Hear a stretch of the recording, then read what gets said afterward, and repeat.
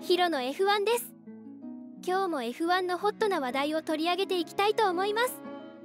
チャンネル登録と高評価お願いします。チャンネル登録で最新の F1 ニュースを見逃さずにチェックできるよ。どうして最高の F1 ドライバーが肉体的に最高の準備をするのかの話題です。ヘルムート・マルコは同じオーストリア人で F1 界のレジェンドであるゲルハルト・ベルガーの酷暑のレースに対応できるかどうかはドライバー次第という見解を支持した。FIA が先週日曜日のカタールグランプリで熱中症と脱水症状に見舞われたドライバーたちの責任を認める中ベルガーはこの問題は実際には単に体力の問題だと語った。体調が万全であれば病気になることはないとベルガーはサーバステレビに語った。80歳のマルコは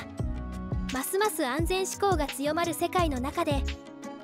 ベルガーのコメントは新鮮な息吹だと語った。ゲルハルトの発言はとても新鮮だったとマルコはオスターライフ氏に語った。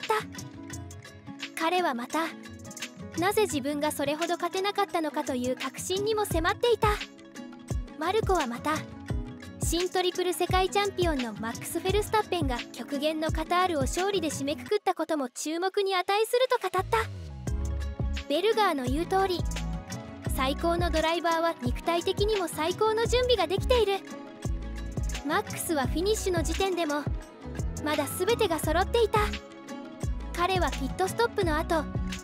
タイヤの温度が上がるまで34周のんびりと走ることができた。